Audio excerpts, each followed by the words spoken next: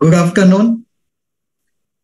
Today we have World Sepsis Day live webinar by Indian Association of Medical Microbiologists. The World Sepsis Day initiative of the Global Sepsis Alliance and has been established in 2012 with the mission to provide the global leadership to reduce the worldwide burden of sepsis. Every year on September 13, countless events raising awareness of sepsis are organized all over the world. Indian Association of Medical Microbiologists has always been at forefront disseminating awareness and education around the issues of pertinence among the healthcare fraternity. We at IAMM national body, with the efforts of Dr. Wattal, celebrating World Sepsis Day every year, having a national webinar. Year's theme is the enigma of sepsis, how much of it has been resolved, is the theme, and my due thanks to the bioMérieux for their support. On behalf of IAMM, I welcome all participants of this webinar. At the outset, I am privileged to introduce Dr. Wattal, who is moderator of today's webinar, but shoulders many responsibilities of IAMM. The eminent faculty team of today's webinar, Dr. B.K. Rao, Dr. V. Balaji, Dr. Senthur Nambi, I welcome them and thank them also. Now, uh, Dr. Professor Dr. Chand Wattal, who is uh, working as a chairman Institute of Clinical Microbiology and Immunology, Sir Gangaram Hospital, New Delhi.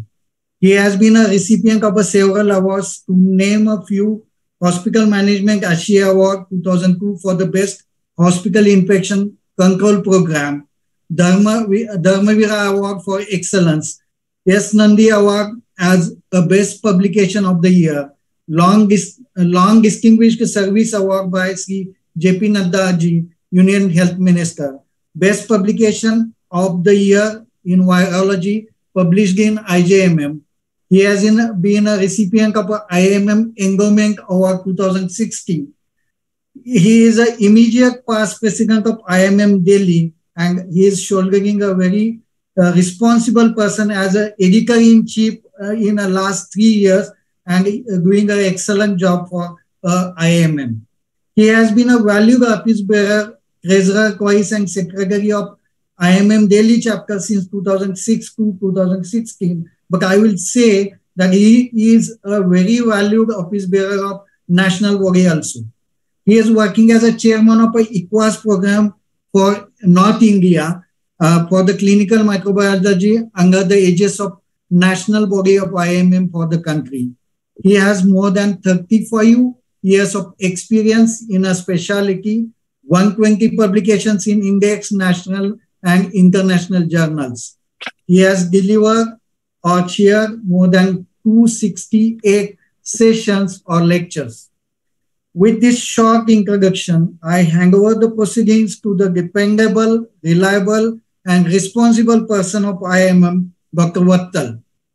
Wattal, sir, please. Thank you, Dr. Uh, Patel, for your kind words. And uh, just give me a few minutes. I uh, share my slides. And uh, probably it, I feel a little embarrassed when uh, Dr. Patel was repeatedly trying to share his sentiments. I wish to thank him for that. But I try and do my best, whatever possible, in whatever conditions. So we are back again this year trying to think of sepsis again. And this is how the we have been doing it every year on uh, even including uh, corona time we did not actually stop uh, uh, uh i don't know why this is not moving so we have continued even during the corona time to look into uh, the sepsis issue as to where we are. And when we are talking of the enigma as to what this enigma is, I remember when I joined the medical school and in somewhere around uh, maybe 30, 30, 35 years or maybe 40 years back. And my first seminar as a uh, third year student was I was given the seminar topic as sepsis. And I thought I knew everything on that day, and there is no enigma. And as the things progress, you can see this uh, and this uh, we're trying to get out of this, which is not really, really very easy. Sir, sorry, sir. Your slides are not being shared. Uh, slideshow is not there. Slide, but here it is. I will have to stop the share and share it again. So sir. kindly bear with me.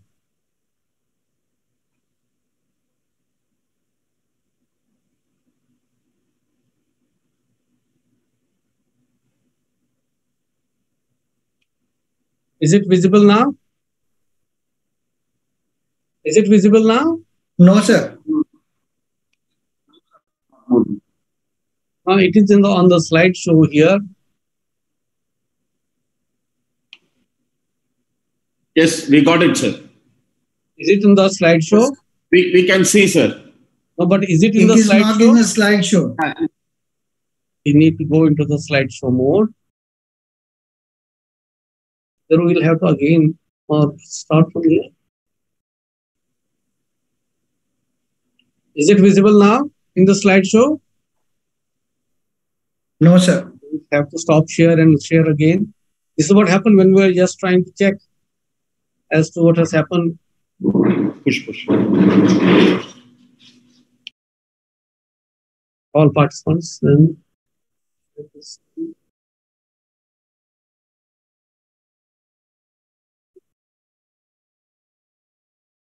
Now it is visible, sir. Is it in the slideshow? Yes, sir. Okay. Uh, let me see if I can I can roll it. So that's another issue. Yes. So I was here and I was trying to come out of uh, this enigma now, and this is year 2022. So as we will understand, try and see as to where we are going, and I expect my uh, fellow colleagues uh, to give us this kind of a situation as to what has happened now, where we are at the moment. So we know that the global burden of sepsis and related syndromes are most common causes of admission to intensive care units across the world. In the USA, deaths due to sepsis exceeds due to the breast carcinoma, prostate cancer, or, or AIDS combined because of sepsis. And if we look at the hospital mortality due to sepsis, though it's a slightly older data, 2005 and 2015, not much has changed. Data from 27 high income countries shows that hospital mortality due to sepsis is 17% and hospital mortality due to severe sepsis is 26%. And global estimate of incidence and mortality due to sepsis, and particularly in low middle income con- uh, countries, is 31.5 million cases globally due to sepsis 19.4 million cases globally due to severe sepsis, and deaths due to sepsis estimated at 5.3 million deaths. So, if we look at uh, this cartoon over here, every second counts. Then we also understand from other authors here, you will see that every second counts. One out of every 23 patients in the hospital has sepsis, and 40% of ICU spending is on sepsis. If you look at this uh, very commonly presented slide, where we are talking of the patient's survival rate, it keeps on decreasing if the, the right kind of antibiotic is delayed. Similarly, if you look at the annual deaths, severe sepsis just follows acute myocardial infarction. When you talk of the length of stay, you can see the severe sepsis increases the length of stay. And the mortality, 10th leading cause of death in uh, US. This is our own data from Dr. Todi, who is uh, uh, published this in uh, Journal of Critical Care Medicine in 2017, where you can see the attributable mortality is around 85%. And you can see mortality due to severe sepsis is 56%. It is a very high burden that we are carrying in our country as well when we are talking of sepsis. So, what are we facing? So, ladies and gentlemen, increasing resistance in gram negative bacteria in Indian hospitals, and the last resort drugs we are failing us non-susceptibility to third-generation cephalosporins and fluoroquinolones has increased considerably, particularly in Klebsiella pneumoniae, Acinetobacter, and Pseudomonas, though it has started uh, mellow, mellowing down uh, lately, non-susceptibility to meropenem in Acinetobacter baumannii, Klebsiella pneumoniae, Pseudomonas aeruginosa, and E. coli. 13% Klebsiella pneumoniae are non-susceptible to carbapenems and uh, colistin. Cons are far more resistant than Staph aureus and causing more clinical infections in central line associated bloodstream infections and catheter-related bloodstream infections.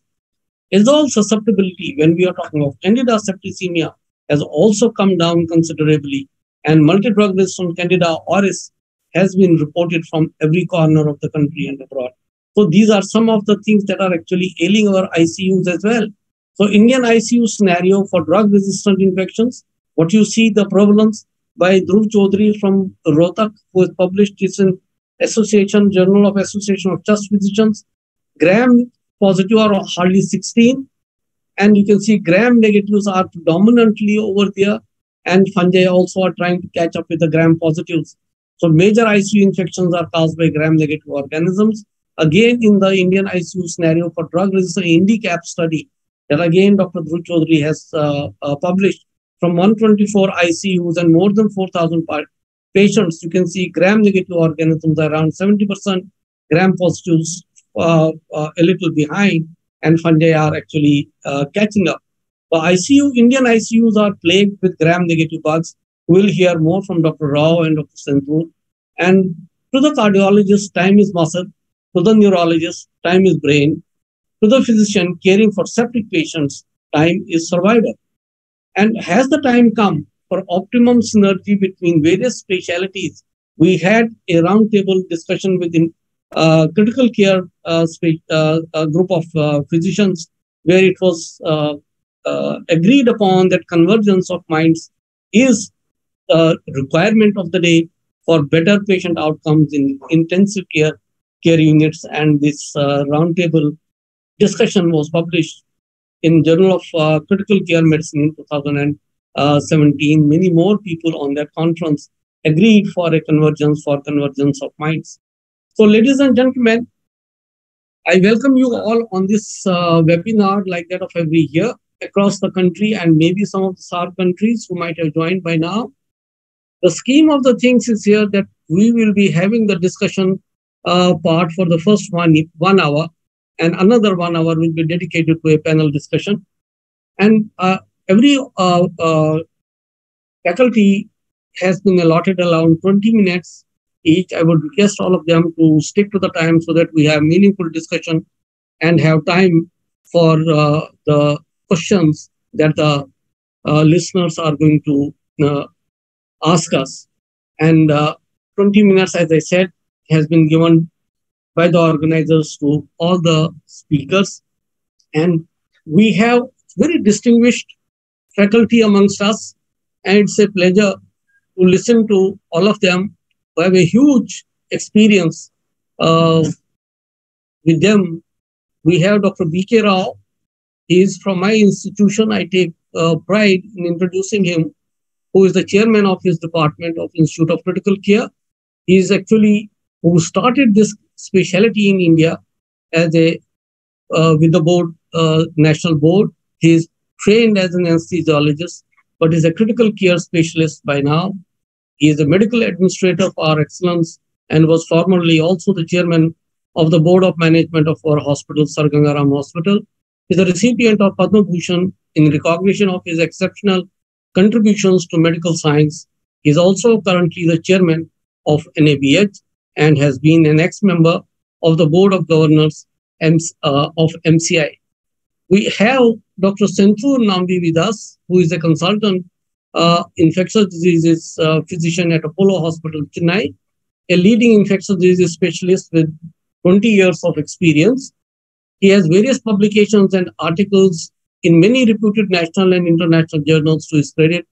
He is former secretary of the Clinical Infectious Diseases Society of India. I hope he has joined by now. He wanted to join by 4.15. Is Dr. Nambi here? Has he, has he uh, logged in? Maybe he's logged, logged in as we progress in our presentations.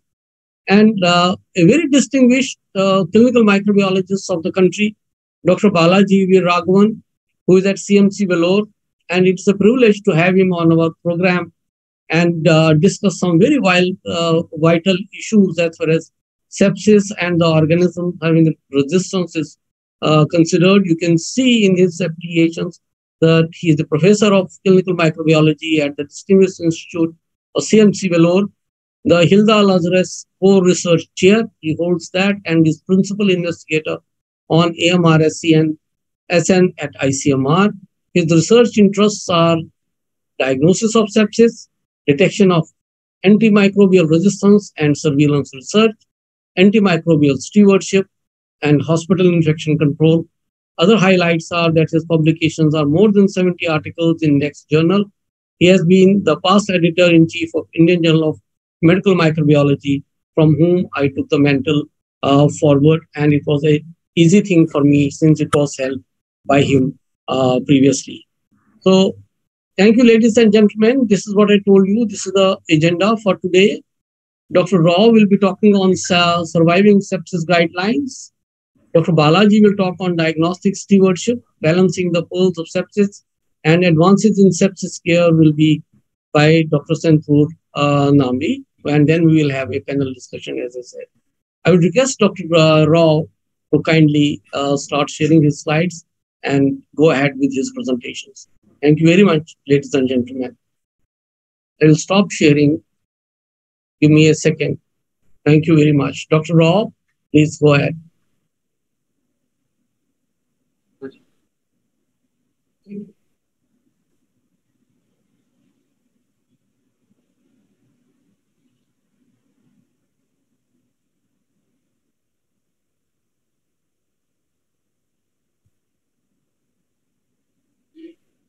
Thank you, Dr. Wattal, for the kind introduction. And I thank the organizers of the Indian Medical uh, Indian Association of Medical Microbiology for inviting me to deliver my talk on a very important topic.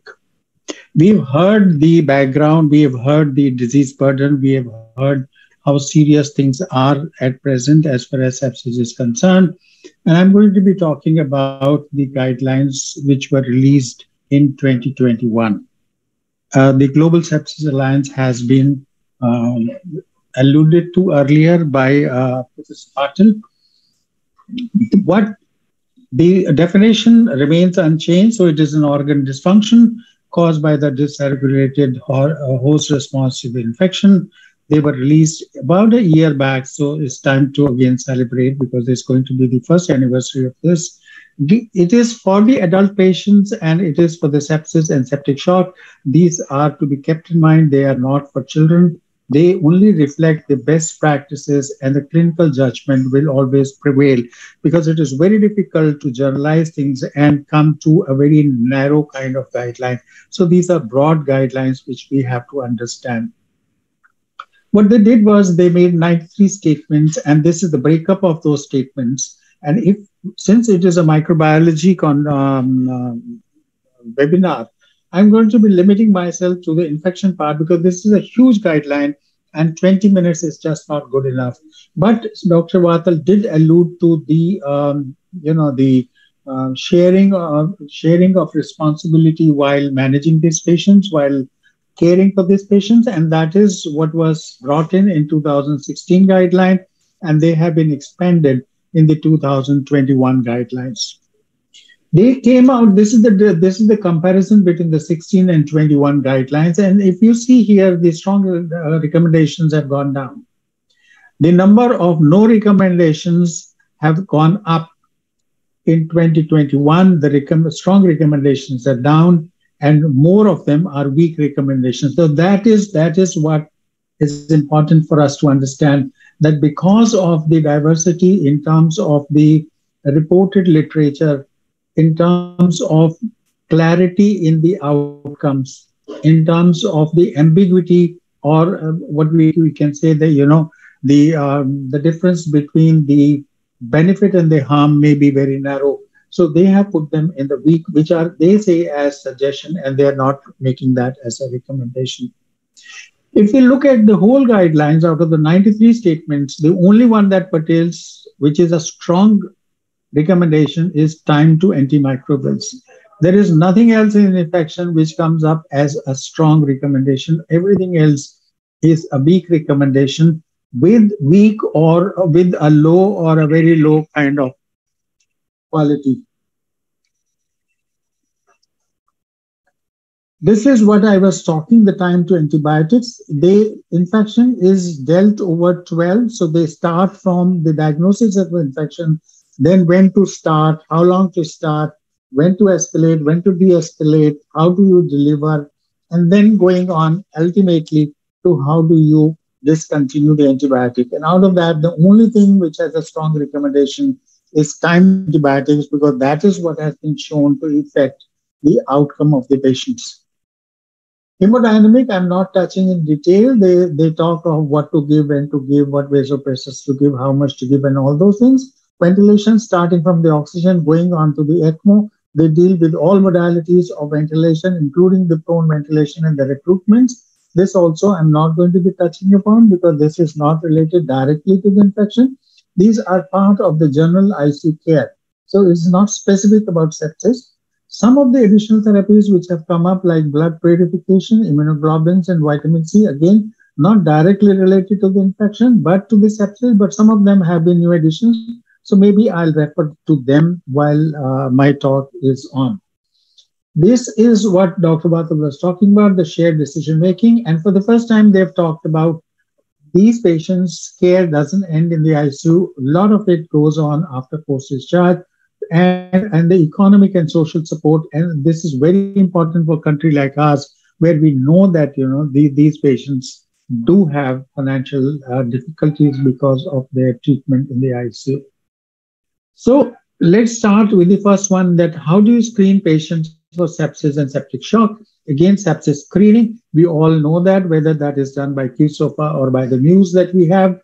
Uh, that was there in the 2016 also, they have not changed it. What they have added is the SOPs, that is the standard practice. Um, that is what has been added. It was not there in the 2016, and they are both strong recommendations. Standard operating procedures was not there earlier. It has come up in this one. Where did I go? Wait a minute.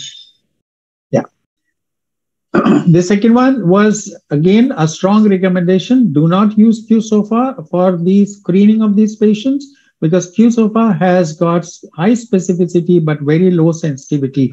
And they have seen that a lot of patients who actually had severe infection did not have a significant or, or a QSOFA of more than two. So they say that if you are using a single screening tool, then do not use QSOFA, use the MEWS and the news that is the national uh, early warning or the modified early warning signs. Again, they say use lactate over not using lactate because lactate may not be very diagnostic or prognosticated or whatever. But if you have a high suspicion and you have a lactate which is high, then probably somewhere it correlates and corroborates that your diagnosis of sepsis may be right. These are the um, numbers. So their statement number four to eight are mentioned here. And this one says about the septic shock and the hypoperfusion. There, if the patient requires fluid, they say give 20 liters, 20 milliliters per kg in the first three hours and give it crystalloids and not colloids. To use the dynamic measures, say, for example, you are using the leg raising, you are using the pulse pressure variation, the stroke variation, the echocardiography, whatever you, are, you have facility for, rather than examining the static parameters like, for example, CVP, or examining the patient and then coming to the conclusion the patient is adequately resuscitated.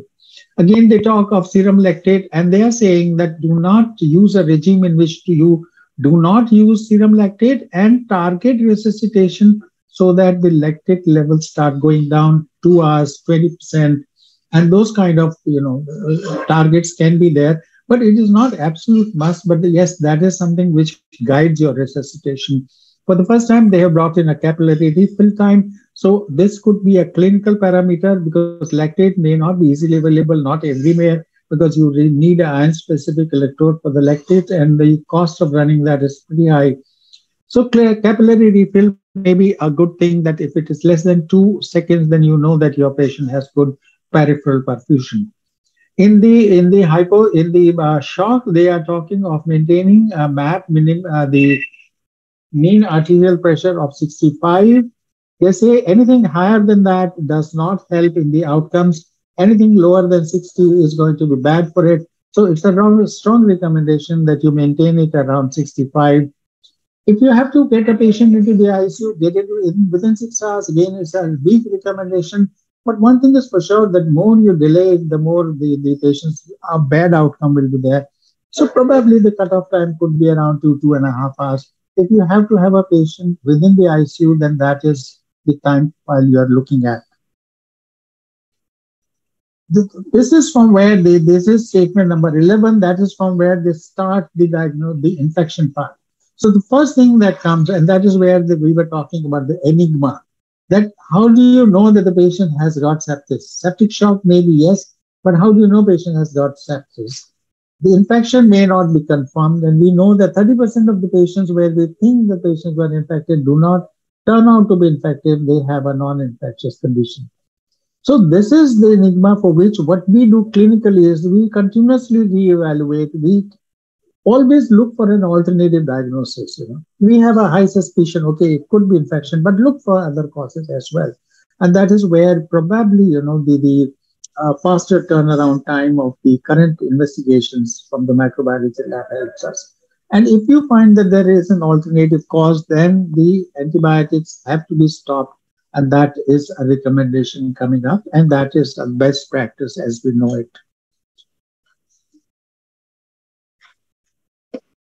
So antibiotic timing, how do you how do you uh, time the antibiotic? We all know that in the previous one also we had that try and give it in the one hour. So what we do is this: if you have a sepsis which is probable or definitive, irrespective of whether shock is present or shock is not present, you have to give the antibiotic or start the antibiotic within one hour.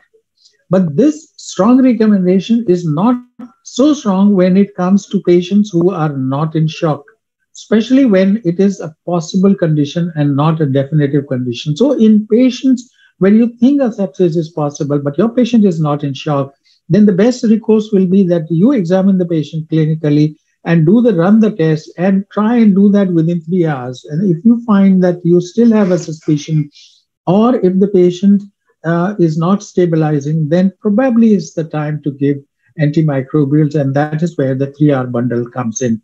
But if your patient is in shock and you think sepsis is probable, then you have to stick to the one hour regime. But the point is that if you think that the likelihood of infection is low and the patient does not have shock, and and uh, you think that you know you, you are quite sure of what you are talking about, then it is best to defer antimicrobials, monitor the patient, reevaluate the patient, uh, the, put lab tests in place and then decide whether you want to go ahead and give antibiotics or you don't want to give antibiotics.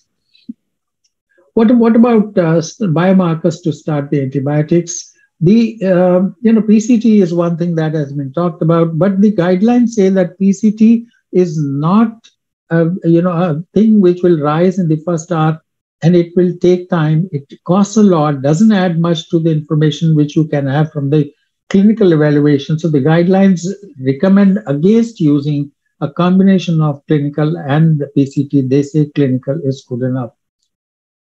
When it comes to the empiric, then you have to talk about the MRSA and the non-MRSA. If you have a high risk of MRSA, they say you should give the MRSA coverage.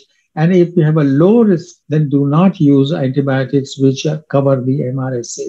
Now, this is one thing which, uh, you know, again, you have to go by the uh, risk factors, by the colonization, by the previous history. A lot of things have to go into that. So the answer to this is not very easy, but a whole lot depends on the prevalence of MRSA in your own organization. Then comes the question of double antibiotics. In gram-negative patients, obviously you will go by these risk factors, you know, the MDRs, the local prevalence, the risk factors, the severity of illness, shock is one of them and if you think that your patient has a high risk, then you have to use two antimicrobials. One of them will cover, at least one of them will cover the gram negative. So this is a combination which is recommended If you don't have um, a high risk, that means you have a low risk of anti, antimicrobial, then they say that you do not use two antimicrobials for a gram negative coverage, only use one. And if you have sepsis and septic shock where you don't think that there are uh, risk factors or you don't know about them, then they say again, you don't use a double uh, gram negative. What you do is run investigations, run a microbiological uh, investigation, which means do a culture and sensitivity. And once you identify the pathogen and the sensitivity, then alone you decide whether you give single or double, because everything depends on the host, the bacteria, the antibiotics, and all. Then comes just one.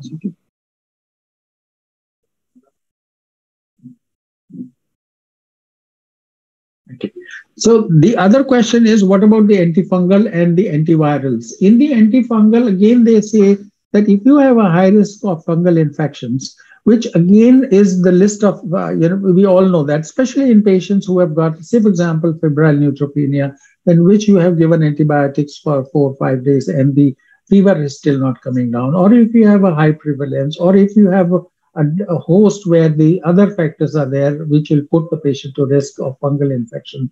Say, for example, a length of stay in the ICU, and he's still running infection, not responding to the antibiotics, where the culture shows that you know the, the antibiotics have a sensitivity for the bug.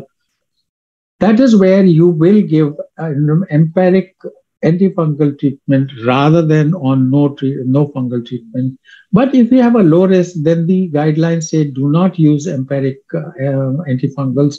For the viral, they have no recommendation because they say that the antiviral therapies are changing very fast, and we have seen that in COVID, how fast they change.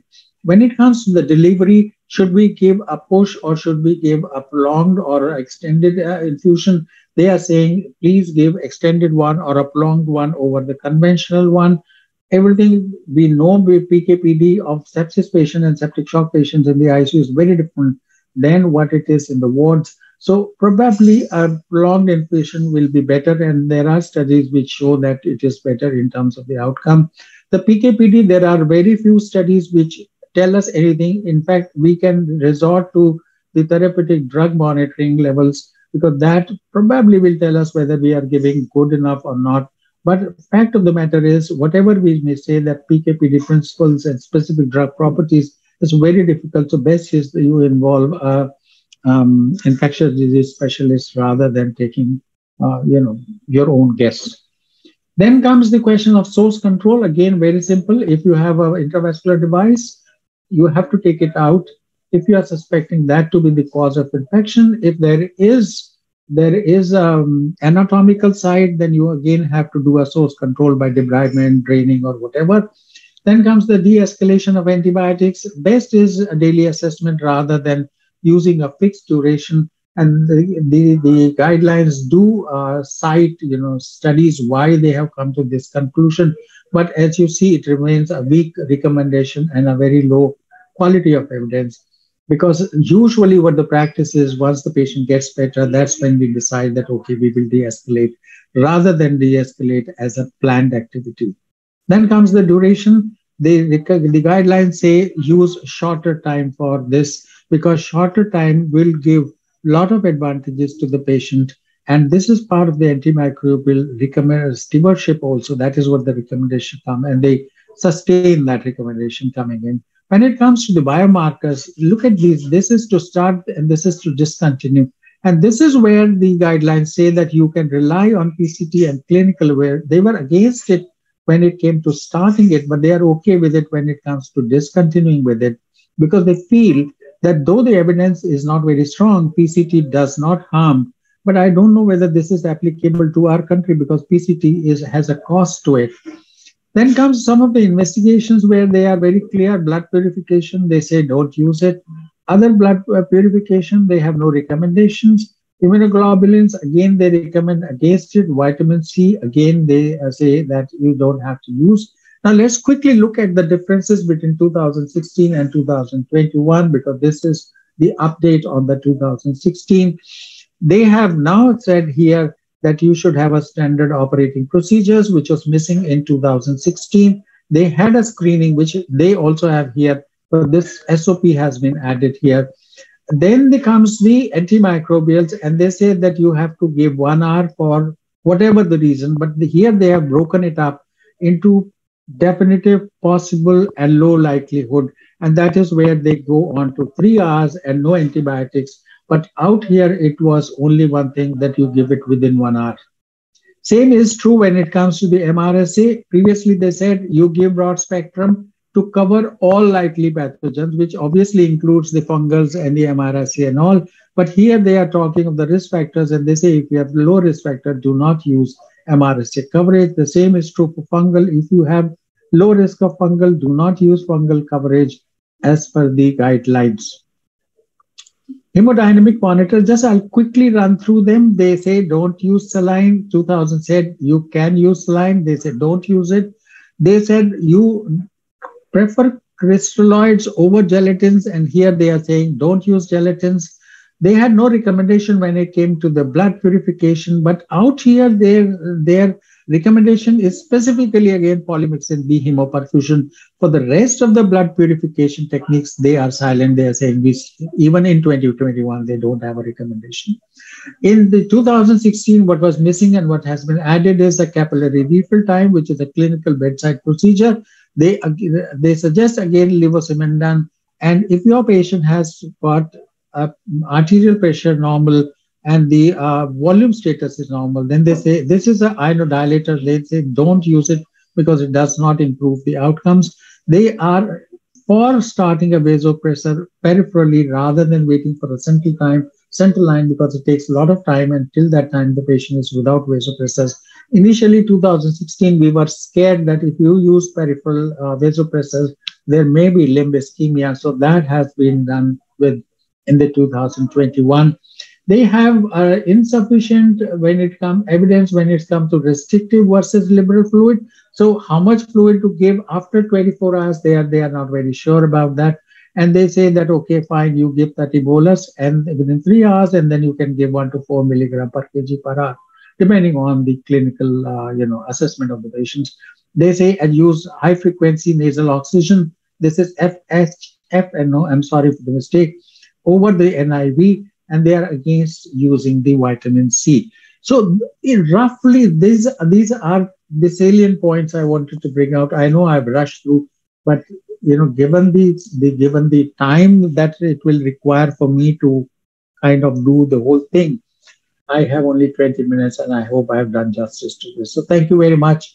Um, I hope I have covered most of the salient points, especially the one which were with the um, infection part. So, Dr. Wattal, thank you so much. I will stop sharing my slides. Uh, thank you, Dr. Rao. Yeah. Thank you, Dr. Rao. It was a pleasure, as usual, to listen to you. And I know you you uh, treasure time, and uh, I had no worries as far as your presentation was concerned. Yeah, but I you made the time. jargon. You made the jargon so sound so simple when we know that they are really you know it days in and days out in ICU how you sweat it out. So thank you very much uh, uh, for this uh, lucid presentation. Though we had a very limited time, our aim is to have more of, of discussion at the end. And uh, now I uh, uh, I welcome at the same time Dr. Senthur Nambi, who has just joined us. and Dr. Nambi, I have already introduced you. And in the meantime, I will invite my great friend, Dr. Balaji from CMC to go ahead with this presentation on diagnostic stewardship. Dr. Uh, Balaji, please.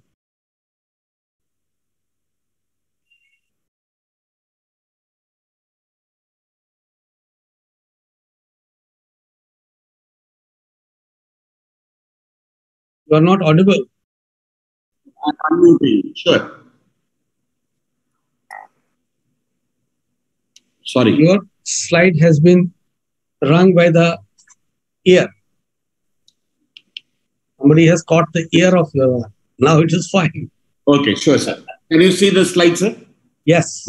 Please go ahead. So, for the next 20 minutes, I'm going to talk about the diagnostic stewardship, balancing the perils of sepsis and AMR. I can easily say it's a double trouble. You have a sepsis to treat and the AMR to take care of. So, uh, in the next 20 minutes, what I would like to touch upon is uh, four important area how to improve the positivity of the blood culture. So, as a microbiologist, how we can help uh, educate the physician what we desire, what they need to uh, fulfill. Second one is uh, how uh, we can uh, get the idea of the organism and the susceptibility testing at the earliest. So, I would like to talk about a new FDA approved uh, antimicrobial susceptibility platform, which is expected to be a game changer then third one is what are all the current understandings in the susceptibility testing of gram positive and gram negatives? Uh, it's a very few I can do share uh, uh, because of the time limitation. And uh, the, now with the availability of uh, new tools, we, we are encountering more of emerging pathogens. What are all those emerging pathogens and how to take care of those pathogens? What are the ideal appropriate therapy to treat with. So that's what I'm going to talk about in the emerging pathogen and what are the new uh, existing uh, sepsis biomarker. So uh, it's very clear that as many as 80% of the sepsis death could be prevented with rapid diagnosis and appropriate treatment. And uh, how rapidly you need to get the organism? That's the question. And the benchmark is very recently a paper has been published where they looked at the association between the time to appropriate antimicrobial treatment and 30 day mortality in patient with bloodstream infection. It's a uh, retrospective cohort study. What they've uh, observed is uh, the delay in appropriate antimicrobial treatment increases 30 day mortality after 12 hours from the blood culture collection. So it looks that the benchmark is 12 hours. Once the blood culture is collected, you need to give appropriate antibiotic within 12 hours. And now the question is within 12 hours, is it possible for you to get the blood culture, what you have collected, to become positive and have the identification and the AST? Now, with the uh, modern uh, techniques, I feel that we are moving towards a reality where uh, within few years this is achievable. And even now, to small percentage within 12 hours, positive identification of the culture and the susceptibility both is possible. And the three important qualities of the microbiology lab is to get in a right specimen, to get in a right specimen, that is more important. That will be the, getting the right specimen is going to be the success of the microbiologist. And for getting a right specimen, they need to educate the physician what kind of uh, specimen they desire. And once you get the specimen, what is the appropriate testing platform you require? So, in blood culture related informations, I will be discussing subsequently. And not only getting the right specimen and appropriate testing platform, getting an accurate result in a shorter turnaround time uh, is the best thing to happen. So, how to increase the blood culture sets and the volume, incre- in- increasing the incremental yield. Okay, so this is an, a very uh, nice, important lesson which we learned from 2007, and it continues to be the same over the years, in spite of conventional blood culture bottles turning out to be uh, modern uh, with the various uh, approaches of deduction with the high-end tools. But all the high-end tools gets compensated with the antibiotic present in the blood.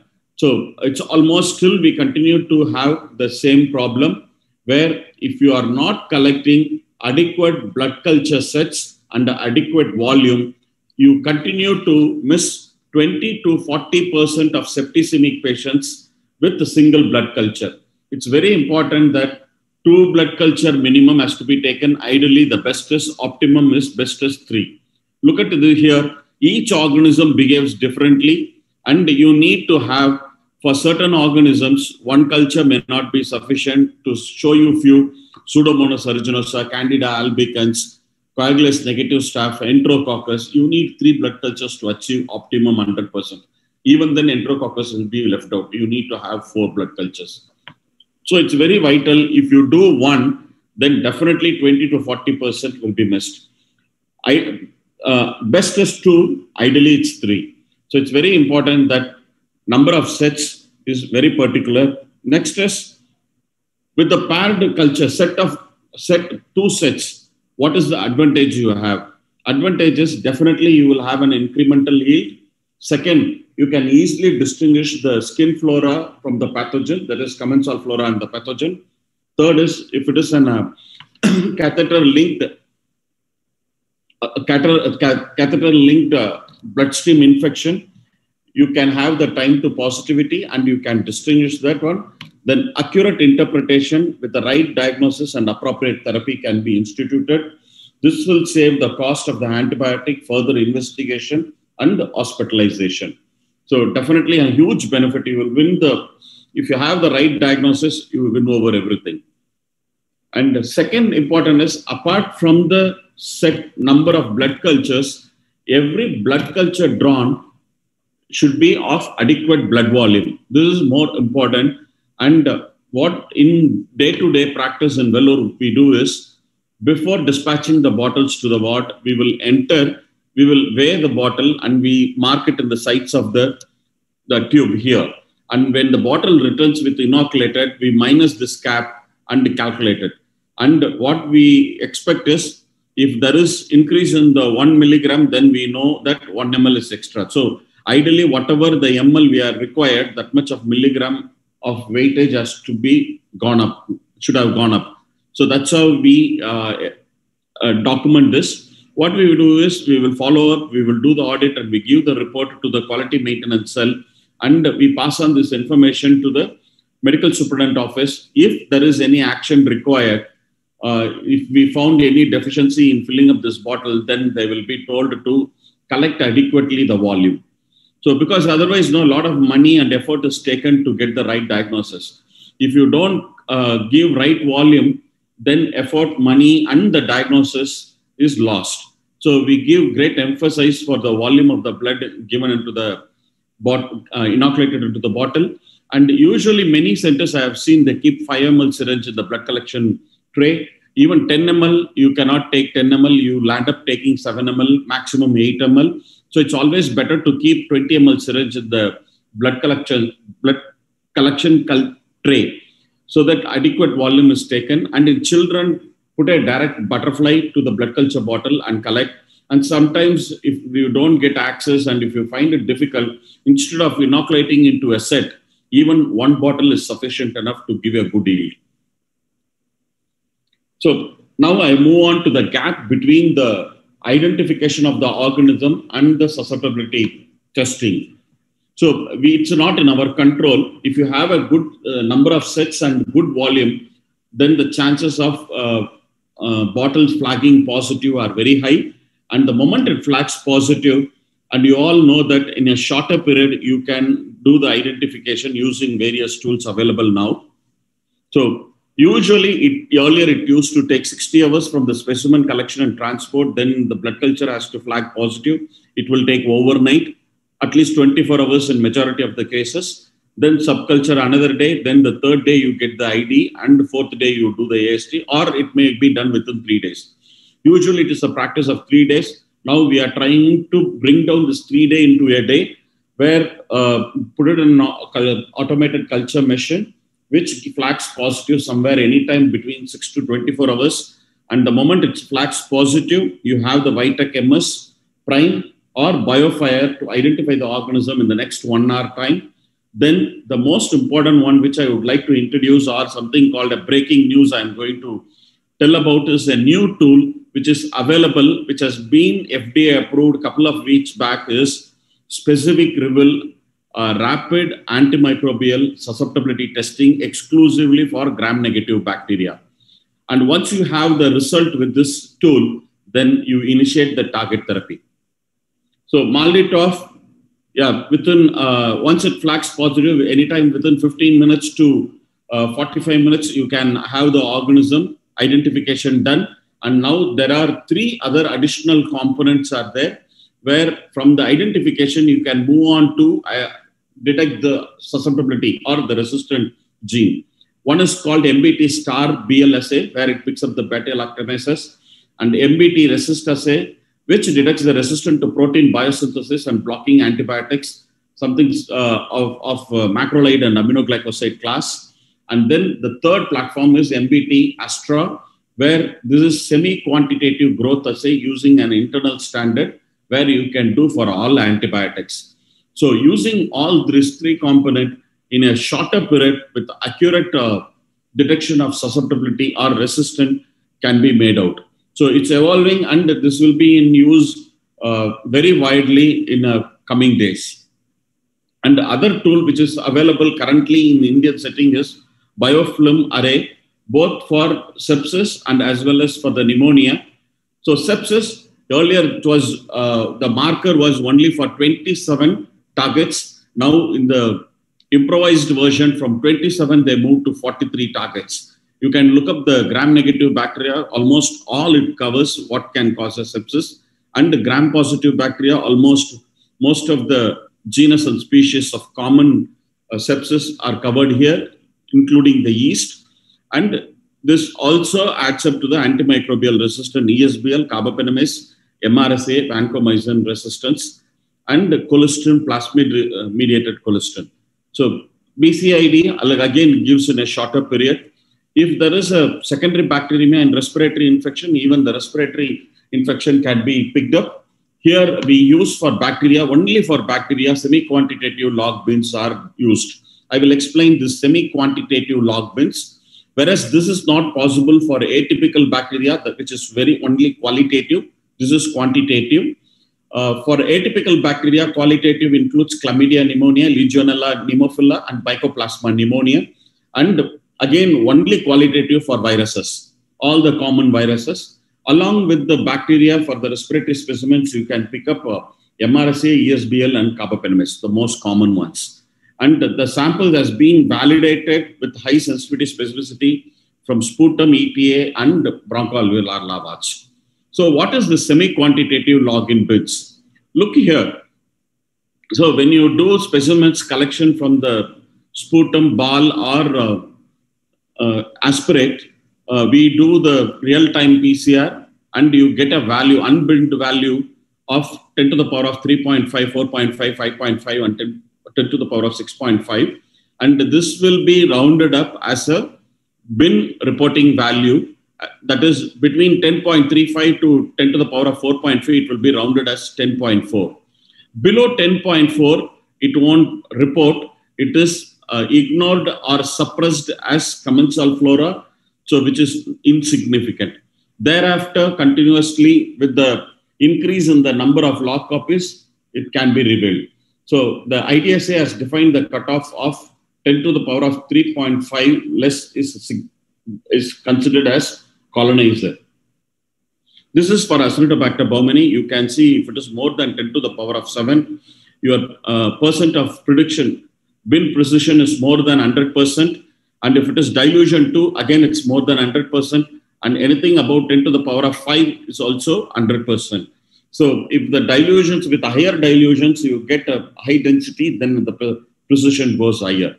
So which has uh, this has been thoroughly evaluated and it gives a uh, sensitivity and positive predictive value of 96.2% with a specificity of 98.3% and for sputum it is 96.3 and 97.2% so this is the easy way to make out or to make out the pathogen and as well to differentiate between the colonizer and a pathogen. Now as i mentioned to you earlier this was a game changer, new FDA approved rapid antimicrobial susceptibility testing system, which is called Specific Reveal. So this was the uh, peer review paper published recently, and it has been published in Journal of Clinical Microbiology. This is performance of Reveal rapid antibiotic susceptibility testing system only for gram-negative blood culture at a large urban hospital. And this kit has been a couple of weeks back approved by FDA. The interesting aspect is once the blood culture bottle flags positive, that is good enough. No need to subculture onto the blood agar plate. Parallel, you can do, but for this particular test, you no need to subculture or incubate further. Directly aspirate the supernatant, inoculate into the pluronic water. You have to inoculate into the pluronic water 5 ml of the supernatant to the blood, uh, blood culture positive. Then uh, this 15 into the 15 ml clonical conical flask and dilute it with the uh, 1 in 1000 dilution with the pluronic water given by the company. and pour it in an inoculator tray and collect 115 microliters and put it in the tray and seal it, push it into this machine. And after, within five hours, you will get the result. So the result is validated with an essential agreement of 98% with the Sensititre. And the turnaround time is 5.5 hours. So within six hours, you are guaranteed to get a micro something similar to microbroth dilution, exact MIC values, and the whole manual uh, handling uh, to process this specimen takes only three minutes. The moment it, the blood culture uh, bottle flags positive. Okay, how this happens? Uh, detection of volatile compounds emission during bacterial, I won't say it as a growth, during bacterial death. So the more number of cell death is proportional to the metabolic products arrived at. So the more metabolic pro, uh, products are there, then that the, the uh, curve will rise. And for each color, it denotes uh, various values.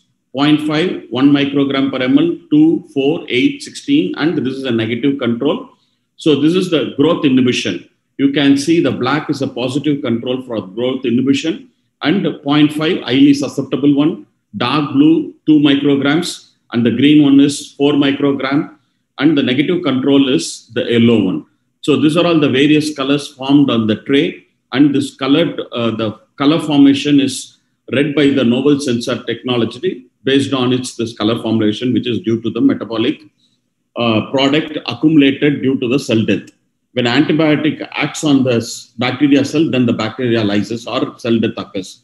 Based on that product, uh, this uh, MIC values are derived. So uh, the great thing about this technique is within 5.5 hours, you get an essential agreement of susceptibility with the Sensititre is almost 98%. So getting within six hours of MIC value is going to be a game changer. And if the bacteria alert flags positive within six hours, with six or 12 hours, the result will be ready.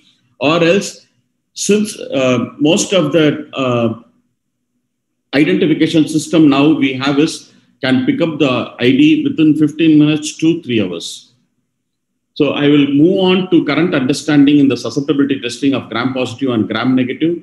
Two things I would like to mention about the follow-up of blood culture in Staph aureus and how we can uh, avoid vancomycin, especially for MRSA vascular endocarditis. there is a recent study published where for, for follow-up, I know we, we, are, we all must be sure that Staph aureus bacteremia is a nightmare to manage for even for the uh, infectious disease physicians. Once the blood culture is positive and initiated therapy, then you, it is expected that the second day you will have the positivity coming down to 67 point and when you do on fourth day further it comes down to 48 5% and then it, uh, you need to keep doing follow up till it becomes negative then the day one of the therapy starts. And other days are not counted. So uh, they found out that based on the probability based optimization uh, model which they used they recommend that instead of one set doing two blood culture sets on day two and four after starting therapy may detect more than 90% of the persisting staph, uh, staph aureus bacteremia. And this will limit the skip phenomena. And the second one is we always uh, depend more on vancomycin. There is a nice article where it says that approaching 65 years, is it time to consider retirement of vancomycin for treating MRSA due to endovascular infection. You need to, but not only for endovascular infection, you can, you can consider for bacteremia because vancomycin is a workhorse antibiotic for MRSA. This was there in 65 years in the market. And interestingly, no reported resistant worldwide except 20 VRSA, VRSA cases. So it's going to be highly susceptible when you do in a microbiology lab and get the report. However, it's difficult to detect the VISA so you will end up getting a susceptible and MRSA persist and treatment failure with vancomycins are very high, up to 20% failure. Vancomycin is a slow bactericidal, poor diffusion into the tissue. And another complicated is the nephrotoxicity, which goes up to 35. You need to do a therapeutic drug monitoring. and no more uh, trough level is uh, recommended. You need to do the AUC by MIC 400 to 515. So instead of depending more on vancomycin for any serious infection, always provide susceptibility information for daptomycin and levonadifloxacin, ceftaroline, and then comes vancomycin. So it's very imperative that I know vancomycin, it's MIC related, and uh, if you fail, uh, if you are depending only on vancomycin, then miss the opportunity to treat with better antibiotics.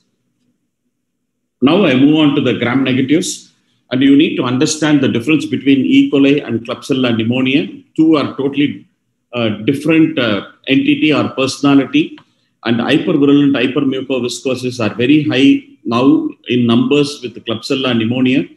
Earlier, gram-negative sepsis, highly virulent with high mortality was E. coli. Now the trend is changing. It happens to be more of a Klebsiella pneumonia. ESBL rates are very high with E. coli, little lesser with Klebsiella and uh, piptazole resistant is very high with E. coli. That is 63% because of the OXA1 presence. The OXA1 is not present much in the Klebsiella pneumoniae. So piptazole's effect is much better with Klebsiella than with the E. coli. Resistant to carbapenem is low with the E. coli. However, it's very high with Klebsiella pneumoniae. It's almost 50%.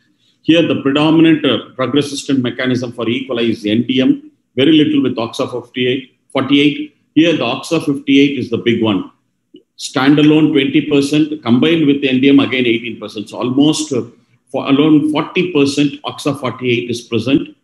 And uh, the interesting, another new uh, add-on to the injury is PB3 insert, which is seen in almost all the E. coli, mainly in carbapenem resistant E. coli. That is not reported in Klebsiella pneumonia. So it's becoming more challenging to treat carbapenem resistant E. coli the ceftazidime avibactam is not going to work in carbapenem resistant E. coli with the PB3. Cefiderocholazole may not uh, uh, may not respond as desired. Cefepime taniborbactam, another problem we are having because of the NDM PB3 combination. So both the highly uh, expect promising drugs are not going to be very promising. And now, uh, what the last one year, the ceftazidime avibactam aztreonam combination seems to be very promising and we have never come across any resistant to this combination but slowly over the last few weeks we were started seeing uh, this uh, uh synergy coming down for this uh, combination ceftazidime avibactam and aztreonam colistin resistant is 8% and the fosfomycin is seems to be much better alternative for E. coli uh, vice versa, NDM-mediated resistance to cefiderocol is very low. Still, cefiderocol and cefepime taniborbactam seems to be better for Klebsiella pneumonia. The best one, aztreonam avibactam combination. Unfortunately, the persistent rates for uh, carbapenem-resistant Klebsiella is high. And a little bit about PB3. You can see that this can be detected using the multiple, uh, sorry, multiplex MAMA PCR, where you can pick up the single point mutation. We are using this target. And not all the PB3 positive E. coli harbor NDM, but almost all the NDM co-harbors PB3 insertion. So if you have a combination of NDM, PB3, and RPC, it's something very difficult to treat. So, so it will be very challenging, and the PB3 modification really results in compromise the loss of activity of piperacillin, ceftazidime, ceftolozane, aztreonam, ceftazidime avibactam, aztreonam avibactam, cefiderocol, and cefepime taniborbactam, mainly for E. coli, not for any other organism. Now, uh, a note for the microbiologists. Look here, there are many number of uh, literature on uh, doing the synergy testing for aztreonam, sorry, for ceftazidime avibactam and aztreonam. Though the gold standard is microbroth dilution, uh, many places they do with the E-test strip. Of the E-test strip, the best one happens to be the strip cross method than the strip stacking method. We can see the sensitivity specificity here and the sensitivity specificity here. So the cross is better. And this was one of the landmark study which many people are following. But always the better is the BMD gold standard. And another one which has been published in the Journal of Global Antimicrobial Resistance is again the disk diffusion method with the poor sensitivity and specificity the results are qualitative, not quantitative. This is very important. And here they use fixed concentration of aztreonam of 30 micrograms and false synergy and false resistant are very high. So it's better to avoid. Then another one with uh, they've evaluated three different methodologies, but unfortunately there is a issue of methodology and interpretations are there. And moreover, all these methods have not been compared with the gold standard microbroth dilution. And uh, third, the problem is there is a reduction in the Aztreonam MIC, uh, which should be considered rather than ceftazidime avibactam. Because here for us, we would like to know the preserve, how this Aztreonam is protected against the metallo-beta-lactamase. And uh, I keep telling in various meetings, again, it's very important to understand that synergy is not equal to susceptibility. We need to achieve both synergy and susceptibility. Look here, I've given two examples. Uh, individually, ceftazidime is 256, aztreonam is 128. When you join together, you achieve uh, ceftazidime avibactam aztreonam as bringing coming down to 2, where 16 fold reduction is there. So this is the best example for synergy and susceptibility. Here you see from 256, it has come down to 16. Uh, four-fold decrease is there, but still the 16 has not fallen below 4. You need to have less than 4 because that is the break point for aztreonam. So here in we are looking for the protection of aztreonam. So it's very important. The fall of uh, fold decrease in the MIC should be either 4 or below 4. Okay. Now we have done a fosfomycin susceptibility against uh, E. coli with the NDM and PB3. And uh, with this combination, we found fosfomycin seems to be much, much uh, highly susceptible. This all pink ones are susceptible, violet is intermediate, sorry, white is susceptible, uh, violet is intermediate, and the pink is resistant. And you can see for all the organism, including ceftazidime avibactam and Aztreonam avibactam, the resistant are very high, whereas fosfomycin is highly susceptible. And uh, watch out for uh, difficult to treat aeruginosa. The percentage is going up over the years. We earlier it was 20%. Now I see the national average of 35%. The difficult to treat uh, Pseudomonas aeruginosa is defined as resistant to piperacillin, tazobactam, ceftazidime, cefepime, aztreonam, meropenem, imipenem, ceraxin, and ciprofloxacin. And the newer agents also not very effective because in our Pseudomonas aeruginosa, in addition to porin and efflux, we have 30% of metallo-beta-lactamase. The last uh, portion is we do have a lot of intrinsically resistant carbapenem as an emerging pathogens one is Burkholderia cenocepacia. This doesn't have much of a problem. It's highly susceptible, but it's an emerging pathogen, Burkholderia cenocepacia complex. But other four are metallo-beta-lactamase, uh, resist, metallo-beta-lactamase producing, where it's intrinsically resistant to carbapenem. Stenotrophomonas maltophilia, Elizabeth kingae, Chryseobacteria species, Achromobacter, and Alcaligenes. This is uh, acquired. The rest three are intrinsic. So uh, it's very challenging to treat these uh, four organisms. And uh, the, these are all the resistant mechanisms this for these five organisms. And the common one which can knock off all these uh, unusual or emerging organisms is the trimethoprim sulfamethoxazole. For Burkholderia cenocepacia complex, this seems to be the best one, trimethoprim sulfamethoxazole. Again, for Stenotrophomonas maltophilia and for Chryseobacterium. And so for all this, it's there. Whereas for Elizabethkingia, combination of drugs are recommended that includes trimethoprim, either with minocycline or minocycline with the moxi or with the rifampicin. Any of the two can be given. Uh, even uh, vancomycin is suggested. Even though in vitro it's a uh, resistant, but in vivo they think that vancomycin also help in this. So these are all the emerging pathogens with the intrinsic carbapenem resistant, except Burkholderia cenocepacia. And my last portion is sepsis biomarker. Especially, I would like to address uh, more than the infection marker, the acute kidney injury marker, and vascular integrity. As a holistic microbiologist, also should look at the would like to have an uh, sepsis lab where you need to correlate the infection with the pro, uh, with the other markers uh, and give the holistic picture to the physicians, or it should be in the same uh, sheet where both can exchange. Definitely, the procalcitonin marker uh, is markedly elevated in severe sepsis and moderately elevated in respiratory, but not in other syndromes. So you need to be very clear that in the severe sepsis, it will be very marked, uh, marked and uh, very high, and even the respiratory also, it will be very high compared to any other thing. Though the procalcitonin, it's very clearly said it will be useful only for uh, uh, de-escalating the antibiotics. And the CRP, it's a non-specific, it falls down, whereas the procalcitonin continues to be the high. And uh, the another new uh, kit in the market, in the public uh, for a dispense, it's available is the detection of presence of insulin-like growth factor binding protein 7 and tissue inhibitor of metalloproteinase, which is as, as, as an high 91 positivity. It's detected from the urine specimen and predictive of uh, AKI. Uh, this is another promising one, and uh, uh, we are expecting this to be uh, very shortly included in the guidelines. Look at this. The acute kidney injury occurs in 30%. Balaji, sorry interrupting you. Okay, sir. Sure, I'll finish. This is the last slide.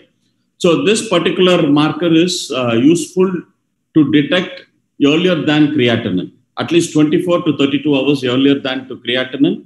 And this will give the indication for early diagnosis.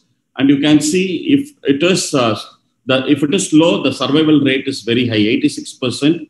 And if it is very high, then the survival rate is only 56%. And the value is, cutoff value is 100 picomoles. And the last one is bioadrenomedullin, where this is indicates the biomarker for vascular and endothelial integrity.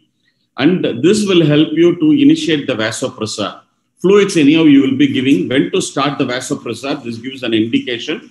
And this has a monoclonal antibody which will help the patient to recover fast. This is pending FDA approval.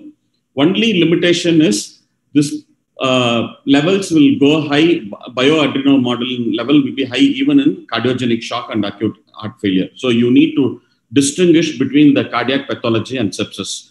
So it's a good marker for prediction, diagnosis, and monitoring. Thank you, sir. Sorry for exceeding few minutes. Thank you, Dr. Balaji. It was really very, very much interesting as it is, but unfortunately, due to lack of time, I had to interrupt you in between. Sorry for that. Dr. Rao also has to leave at 5.30. I would uh, like now immediately to go to Dr. Uh, Senthur Nambi to go ahead with his presentation. Dr. Nambi, please. Uh, very good evening, uh, Dr. Wattal. I hope my screen is visible. Am I audible? Yes, yes, yes. Yeah. Uh, thanks for having me here. And uh, I think I'm not sure what I'm going to add after a long, uh, exhaustive lecture by Dr. Balaji, but let me try my bit. And uh, things look very easier. Uh, the question is, does your patient have infection or not? Uh, no infection or no bacterial infection, no antibiotic. Or when there is a bacterial infection, you need to give antibiotic. So it's quite simple looking at these three lines, but uh, to make the decision at the bedside is the real challenge. And any patient with fever, uh, we need to understand that antibiotics are not magic bullets. We need to ask ourselves this question. Uh, any infectious disease problem has two components. Uh, what is the syndrome or where is the problem? When you can probably figure it out clinically or based on examination or lab test or radiology, where is the problem, then you can predict what is the microbial etiology. Of course, you need a laboratory support to understand what could be the microbial etiology and the susceptibility profiles so that you can choose the right drug. And uh, undifferentiated fevers are a very important component in the evaluation of sepsis in ICU, in Indian ICUs, definitely. There's a huge list of uh, uh, diseases for that. At times, it becomes a little easier when we have a localization like pneumonia or an abdominal infection, meningoencephalitis, or urinary tract infections. So we need to have this basic understanding before even seeing our patients. I would just go through some uh, real life case scenarios plus whatever what has been our learning points uh, with respect to the newer technologies. This is a diabetic male with poor control, uh, presents with the left leg swelling and pain for two days duration. Obviously, the leg is not looking good and um, it looks like a complicated uh, skin and soft tissue infections. You can see this uh, violaceous bullae. A patient is in the ICU on inotropes. He's intubated. He's on a ventilator. He's about to be dialyzed. So, uh, skin and soft tissue infection with sepsis. Um, we're trying to cover gram-positive infections. uh, Streptococcus pyogenes, Staph aureus, plus gram negatives like E. coli, Klebsiella kind of things. Since the patient was sick, he was started on meropenem and vancomycin. And uh, the blood cultures uh, the next day, within 12 hours, had flogged gram-positive cocci, good volume blood cultures, all four bottles growing gram-positive cocci. This was in 2015-16, and this was a sick patient in the ICU with a gram-positive cocci in the uh, blood culture and a soft tissue infections. Probably we're thinking at Streptococcus pyogenes and Staph aureus, but we did have this uh, panel, the blood culture identification panel one, the version one, and you could see that uh, moment the blood culture was flat, we had asked for this report and what uh, we could identify that it was Staphylococcus aureus and the MECA gene was not detected. So MECA gene not detected means that it is not MRSA. So we could have that report. So the diagnosis of methicillin sensitive Staph aureus bacteremia with septic shock was made on day one itself, that is on uh, day zero, and after that, 12 hours later. So we've had an etiological diagnosis within 24 hours. The drug of choice for uh, methicillin sensitive Staph aureus, MSSA is as bad as MRSA, or at times it can even more worse. So we had actually started this patient on vancomycin meropenem. Uh, they are not the most appropriate agents for MSSA. Moment you know it is MSSA, you are going to give either flucloxacillin or cefazolin. Vancomycin was stopped at 24 hours. Another 24 hours, we waited for the blood cultures. There are no more else flags. Meropenem was stopped. The traditional testing, yes, it is very, very useful, but still it picked up uh, the same MSSA at around the day three, 72 hours. So that's the value of having a test that would uh, uh, give you information very quick in a critically ill sick patient. And um, these are uh, initial analysis of the blood culture identification panel one, the version one, the initial 36 isolates when we had analyzed uh, about its impact versus the conventional traditional method of microbiology testing. This is way back in 2015-16. What we found that the BCID1 was very useful with gram-positive organisms. When you have a gram-positive flagging in the blood, uh, it had all enough information that is required both with respect to Staph aureus and enterococci. Whereas with gram negatives, it didn't have a lot of information that is required with respect to carbapenem resistance and all those things. So it was lagging with the gram negative bit, but nevertheless, the information time gap is was quite um, quite the turnaround time or the information that you would get when this test was used in an appropriate scenario was actually very very short when compared to the traditional uh, cultures. And then we had this test the expert Kaba R, uh, which was looking into these um, five key carbapenemases with respect to the gram negatives, and more so with applying to the Enterobacteriaceae, E. coli Klebsiella. And uh, after the BCID1, we started using this. We realized that the gram negatives were the problem in our ICU. And um, when we had used this test in our ICU as a routine for all, all our gram negative bacteremias, uh, especially in critically ill ICU patients or post transplant patients, where the information that we are going to get out of it is going to be very, very crucial.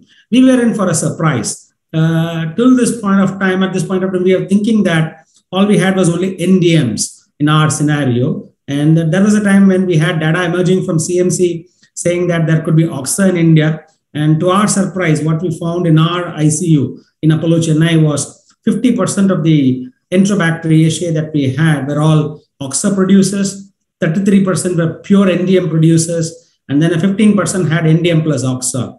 And uh, this was with respect to around 120 bacteremic isolates. And that was kind of an eye opener for us to make us understand that we do have OXA in our uh, ICUs. And we found that OXA production quite common in Klebsiella, whereas the NDM production was quite common with E. coli. And OXA, moment you see an OXA, then right now we have information to say that a drug like ceftazidime-avibactam could work well for that. And then we had this refined version. Dr. Balaji has already projected this, the BCID2, which is a kind of a modified version looking into colistin resistance plus the carbapenemases. Whatever that was there in the Carba-R is incorporated into the BCID2. And now it has become a practice in our critically ill ICU patients with gram negatives or gram positive flagged in our blood cultures. We do it as a routine. And this was in a patient with cholangitis and has a gram-negative bacteremia. With cholangitis, we are looking at generally E. coli Klebsiella, whereas in this patient, what it could be picked up was Klebsiella, and uh, the genes that were detected was CTXM correlating with ESBL production, and then we had OXA48 uh, correlating with um, uh, carbapenem, uh, carbapenemase there. So when you have this kind of information, uh, probably we can narrow down the therapy to ceftazidime, avibactam, something like that. And you may not resort to polymyxin or colistin like that. So it's very useful in our critically ill patient uh, ICU as well as in post-transplant patients are immune compromised post. And um, this is again looking into the utility of this uh, blood culture identification panel 2 or BCID2. And uh, but the most important thing is you need good volume blood cultures to start and then uh, the blood cultures have to flag then you need to do a stain and then from that you process further. The, the time to blood culture flagging what we found is around uh, 22 hours. Moment it flags we have a request raised from the clinician for a blood culture identification 2 panel. So the sample gets transported to our uh, molecular lab from the microbiology lab and from that you get the report in one to two hours so the sequence goes like that. A patient right now at 5.30 p.m. gets admitted in our hospital in the emergency. We do blood cultures whenever there is sepsis is suspected. Patient goes to the ICU next day. At morning 10 o'clock, we have a blood culture reading saying that it is flagged. Then we request uh, for the BCID uh, panel to be raised on that. And by around 12 p.m. or 1 p.m. during our rounds time, we'll have the information. Whereas the traditional method where we do have MALDI-TOF in our system, it does help us. But still, with this, you are going to cut short this um, process by using a FilmArray uh, BCID2. Uh, it's costly in terms of cost, but definitely very useful for critically ill patients in our ICU, especially when you have gram negatives, where the therapy is going to be of uh, great importance. And um, when we compare with the uh, conventional methods, so the initial 30 blood culture flags, whatever we could see, eight samples had uh, concordance with the uh, BCID. And right now we are evaluating the next 200 uh, uh, samples. Uh, we will have that information on that in the next two months. One sample which flagged gram-negative later grew Achromobacter. Burkholderia cepacia was identified as can Candida. That is one problem with the BCID2. It does not have Burkholderia that. And um, Roseomonas and the blood culture did not show any identification on the blood culture identification panel. And uh, what we found was modification of the antibiotics was done in 50% of the occasions. And it was almost done a day earlier when this test was used. De-escalation was done on two occasions. And another times you had used an alternative agents. So it does help in kind of choosing the appropriate antimicrobial at least a day earlier when this test is done. So more valuable in your critically ill ICU patient. And all the more uh, when we have newer agents like ceftazidime avibactam, uh, which will be a very good drug for uh, the OXA48 uh, producing Klebsiella and E. coli. And then with NDM, if you're going to look into the synergy aspect, then this information that you would get it from molecular testing like that will be very, very useful. Even in case you don't have molecular testing, I don't think we need to worry about it. All you need is a traditional microbiology lab with good testing methodology for these individual molecules. So even if you do not have these BCID2 or the CARBA all we need is a routine microbiology lab which could test for ceftazidime avibactam for the E. coli and Klebsiella and let us know. But with these molecular tests, the information turnaround time is much, much, much quicker. The traditional uh, labs, we are looking at day three, day four interface, whereas with molecular tests, we're looking at day one, day two interface.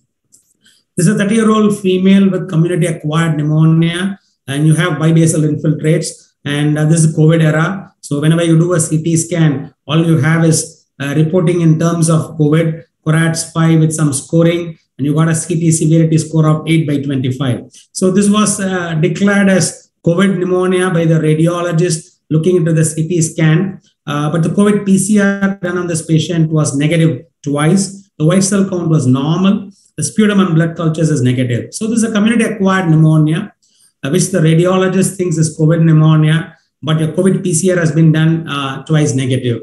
This is something that we had seen in, this is on 1st of August a month ago we had seen in Chennai. So what was thought to be COVID is actually not COVID. And what we have is actually influenza A H1 uh, 2009 uh, version of the influenza A H1N1. So it's very important to use these tests to know when you think it is not going in your expected lines. All viral pneumonias are not COVID. We do have other viruses as a cause for pneumonias, and influenza is something that not to be forgotten. And uh, this was our experience with the initial H1N1 PCR from the year 2013 to 2016. All we had was only H1N1 in uh, Chennai, and uh, all we have the data is with respect to H1N1. And uh, when we started using this uh, molecular or multiplex PCR systems, what we realized that in the year 2016-17, the blue bars, actually the blue line uh, represents H1N1. But in that year, we did have a peak of H3 also. So if not for this multiplex PCR test, you have not even known that uh, H3 into among our scenario. So that is the utility of all these tests in trying to understand, uh, in addition to the routine, it's important that we understand that we have other viruses, other influenza viruses like H3N2 and influenza B amongst us. And, um, and when you incorporate uh, the information that you get from all these things into a clinical practice, and if you look into the impact that we've had on a respiratory viral panel is antibiotics were stopped in one third of the patients after the diagnosis of viral infections. These were de-escalated to a narrow spectrum agent in one third. So in almost 60% of that, and you know that it was a viral pneumonia, we could have a change or stop in antibiotics. And that is very crucial when using all these tests. And uh, going on to the meningitis or the meningoencephalitis, which is a common ICU uh, scenario. And this is looking into the meningoencephalitis panel that we have used uh, in the initial 90 patients when we had analyzed what we found that is it was not useful with our chronic meningitis, whereas with our acute meningoencephalitis, which all was very, very useful in picking up a rate in respect to etiology with our acute uh, meningoencephalitis thing.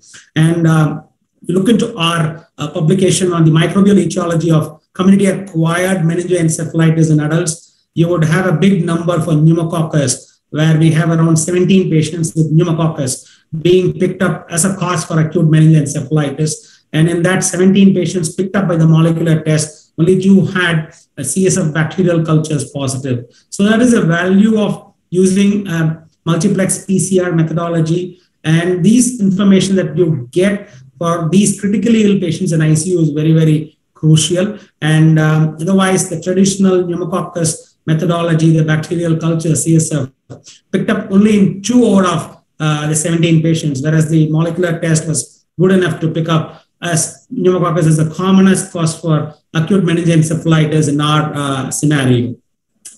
It's a Swedish national who's touring India, has uh, an Chennai belly syndrome. Why call only Delhi belly syndrome? Chennai belly syndrome. Uh, odd thing is he presents with an uh, colitis, but you could see a platelet count of 3,000 and his white cell count was around 20,000.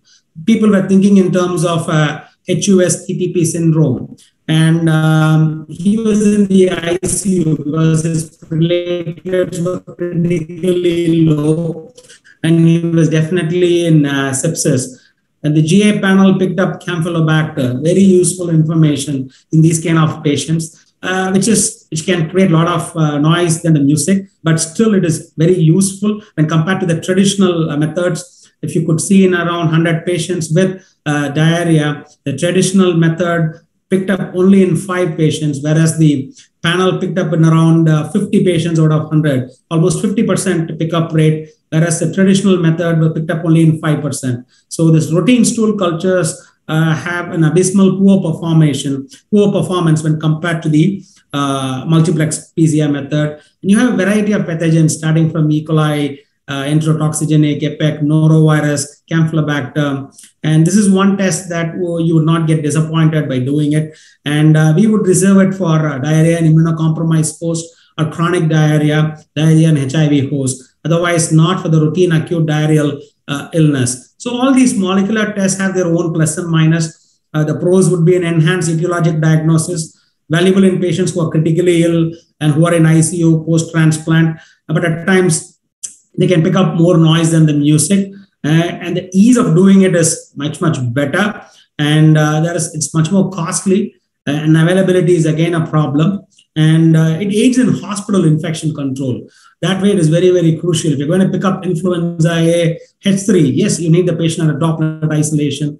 It helps in antimicrobial stewardship and uh, but the drug susceptibilities are not available that would be one disadvantage with that and we need to indianize it because all these are all western um, uh, western panels probably when we have something asian or indian would be even more good for example with the meningitis meningoencephalitis i would like to have the dengue chikungunya west nile virus all those things and the cost in the long run uh, for your icu patient even though it, it is thought as a negative one. But perhaps if you look into the antibiotic cost, the hospital infection control impact, and in fact, the cost could actually prove to be disadvantage. So it's a balance between uh, what you can afford or what the patient can afford or what the hospital can afford, but nevertheless very useful in uh, critically ill patients or immune compromised hosts. Uh, let it be the blood culture identification. I think the information that you get is very, very crucial.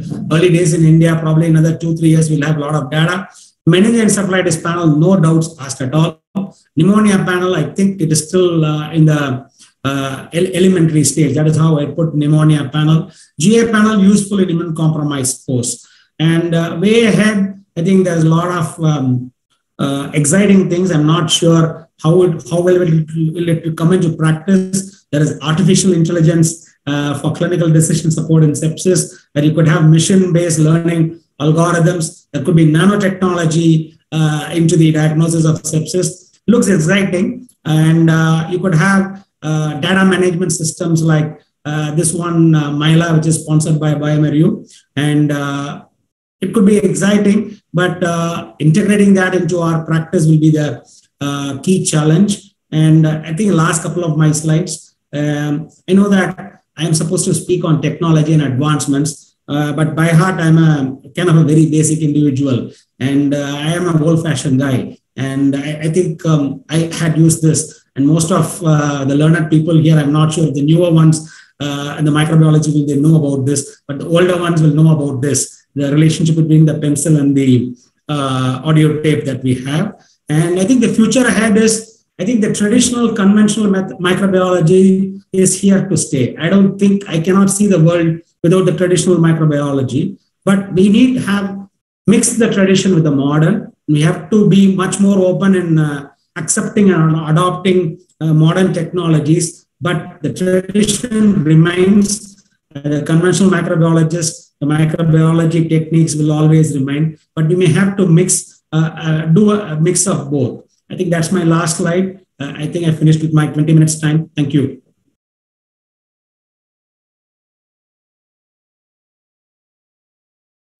நான் phone பண்றதா Wonderful uh, listening to you, Dr. Nambi. And uh, these are some of the exciting uh, things that one sees as a microbiologist when you are trying to uh, get at the diagnosis right away when uh, we are scratching our head. And some of the very difficult diagnoses like Campylobacter and things like that, you usually do not, you are not able to diagnose the routine bacteriology uh, as it is. We are flooded with questions as it is so there are some basic things that have been uh, still asked, but I'm sure these have also been uh, asked already. There is a uh, Dr. Deepak uh, Deepika Gan, Ganveer from Bangalore who still wants to know about CRP. Dr. Rao, if you are there, is it possible that you uh, make it still more clear? Dr. Rao, are you there?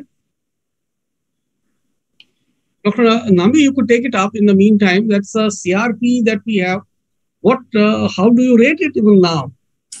I think CRP is not routinely used in adult ICUs, even though pediatricians and PICUs still they are used. Uh, I would see it as a poor cousin to procalcitonin. Uh, but with COVID being back, there was a renewed interest with uh, CRP, yes. where it was seen as an exclusive biomarker with respect to COVID activity. Uh, I think if you can afford procalcitonin, I think it's a much better biomarker than CRP for an, an average adult patient. Yes, I agree with you. And uh, uh, Dr. Uh, Balaji, you want to add anything to it? Nothing. Have sir. you found anything great in CRP No, CR, nothing. sir. other than COVID? Nothing, nothing. sir. Nothing really.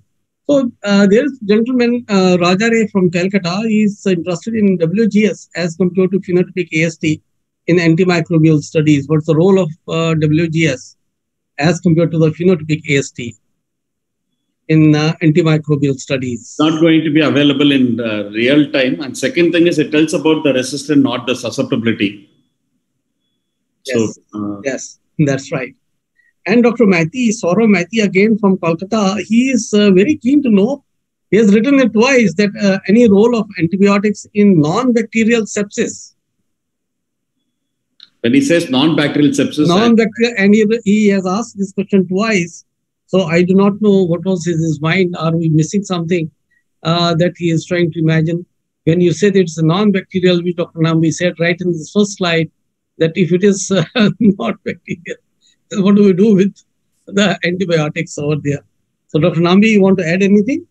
I I think probably what he would have meant is someone presenting with dengue and sepsis like syndrome, something like that. So I think if we are very clear regarding if there is no bacterial cause for infection and we have a clear alternative explanation like malaria, dengue, influenza, COVID, even though the patient is septic, I don't think we should be using antibiotics. Empirically is fine, pending blood cultures, 48 to 72 hours, good volume blood cultures or representative cultures, even in patients with proven uh, viral infections like dengue, influenza, COVID, or parasitic infections like malaria. I think for 48 or 72 hours, the cultures are negative. I, I think we, sh- we should not be continuing antibiotics any further. Yeah, in such case of cases of non-bacterial uh, uh, kind of uh, fever, as it is, Dr. Rao, you are. you- No, you- yeah, yeah. Now, now I I managed to unmute myself. Yeah. So regarding the CRP, it is an acute reactant, but it doesn't really help us. Yeah, that's what my other two panelists were saying. Yes, it And, doesn't uh, help me at all in terms in- of planning yeah. the treatment. Absolutely. Absolutely. That's uh, very right. And the non bacterial sepsis, uh, Dr. Nambi explained in dengue and uh, chikungunya and these kind of infections, or even H1N1, if you are having fever and uh, you're having the kind of difficulty in uh, uh, helping the patient, antibiotics probably uh, may not do much good. And uh, I'll, do not know if uh, he was uh, thinking of superadded infection, which is a very common story that is related that this patient will get into uh, superadded infection, has uh, uh, you know some of the risk factors and that kind of a scenario. Does it still warrant an antibiotic? So now we are. Rao.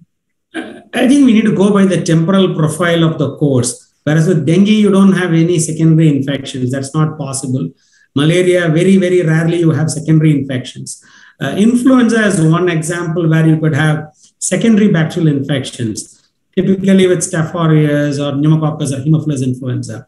But that generally happens in the second week or third week. COVID, uh, anyone who is not intubated, ventilated, they rarely develop secondary bacterial infections. But in the ICU on a ventilator, uh, that the, every passing day on a ventilator, there is always a risk of uh, new infection happening. But as such, uh, COVID, if the steroid is used, there is a risk of secondary bacterial infection. But for to prevent that risk, I don't think we are going to give antibiotics. Only when we clinically think there is a new event or there is some bacterial evidence of bacterial infection, that is when we should be using antibiotics. Definitely not as a routine. Dr. Wattal, the practice is very, very varied. You know, some people can kind of be are, are very proactive, they use it. Some people don't. But the fact of the matter is, whether you do it or you don't, you will still get infections because it is the infection control practices which matter. If you don't practice them, then dump them any with any antibiotic, they will still have infections. Well, I, I agree agree with you. There's one gentleman from Dhaka, uh, Dr. Azilul Haq, who now wants to know about invasive fungal detection rates in hospitals.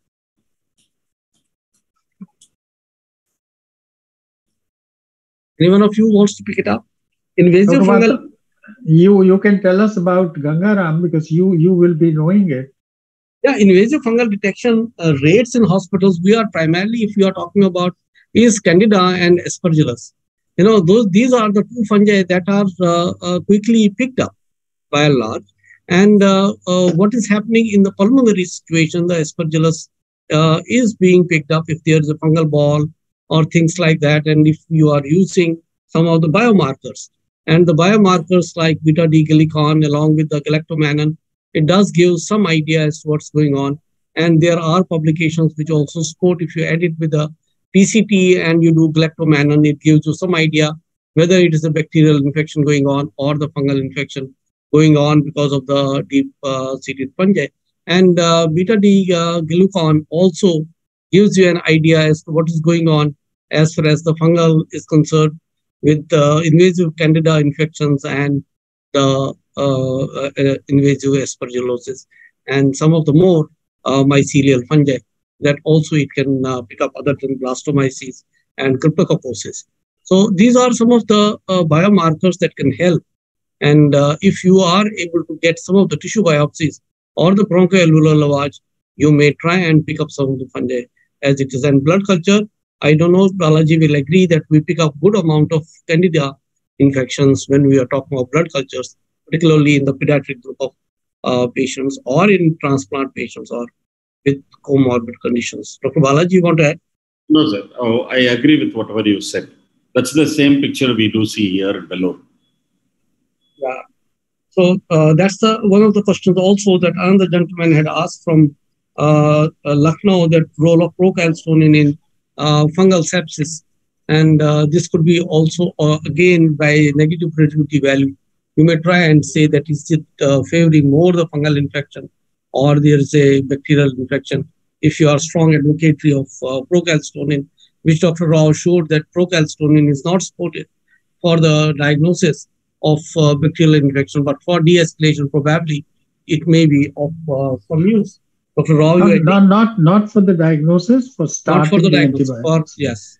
But that, yeah, because it does differentiate between bacterial and all, uh, bacterial and fungal or viral. But the point is, I have better tests. You know, if, if I want to rule out bacterial, I have better tests. If I want to rule out fungal, I have other tests also. I mean, I will not rely totally on the PCT as a single test. But uh, there is a uh, Dr. Rodriguez from Panjim who wants to know that with the advancing hospital care approach, has sepsis incidence come down?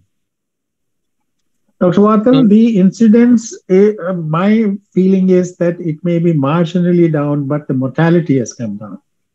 With the mortality has come down. Care, the mortality has come down. That may be multifactorial. Maybe that I will try and uh, uh, lean towards the early diagnosis, probably with the newer techniques. Yeah, whole whole lot of things. Whole, whole lot, lot, of things. Even, even better patient care.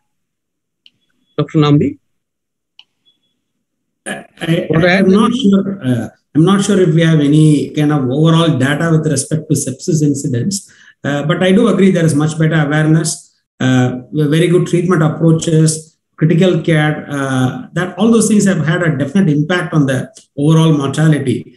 Uh, that's for sure, without any doubt. Yeah, I agree. Uh, from uh, Chennai, uh, Dr. Arthi K wants to know, Balaji, you could uh, iterate what is the exact use of anaerobic bottle? If only one bottle can be given, which is preferred, aerobic or anaerobic? So, though you have explained in detail the use of more than one bottle, but she still is haggling with an anaerobic bottle sometimes uh, uh, anaerobic, since the majority of the isolates are facultative anaerobic, so uh, little earlier than the facultative bottle, that uh, anaerobic bottle will flag positive, and uh, incremental increase will be there, and uh, you are sure that colonizer won't appear in both the sets. Pathogen will be there very often. So that were these are all the few advantages we have. Sir. Yes, I agree with you. That's uh, the facultative anaerobes may probably grow better. We do find sometimes anaerobic bottle bleeds positive in Klebsiella pneumoniae as compared to the routine aerobic bottle. That that would be one of the only areas where we may say, okay, fine, you may pick up an anaerobic bottle as well and add to the kind of isolation rate. Now, the difficult question as it is from Kochi, uh, Dr. Molly uh, uh, Johnny, who is actually uh, perturbed with Klebsiella pneumoniae PDR sepsis, and he wants to know from uh, all of you as to how does he treat. You have shown so many plethora of antibiotics also that you have some kind of uh, action, and whether these are available in the country or not. How do do, do you treat a PDR sepsis with Klebsiella pneumoniae?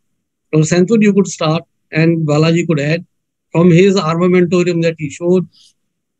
I think if there is any source control to be done, uh, if it is a device associated thing, uh, for example, a central line or a urinary catheter, I think we need to do that first. And then probably the treating clinician should pray to God as well as ask the attenders also to pray to God. And then uh, look into the beta lactam MICs, the MIC cutoff and the actual MIC. So if there is something close to the uh, actual uh, MIC cutoff, probably try using it, whatever be the beta lactam. And uh, and we don't have cefiderocol right now. And in that situation, probably we need to look into chloramphenicol susceptibilities, fosfomycin susceptibilities, ceftazidime avibactam plus aztreonam synergy combination.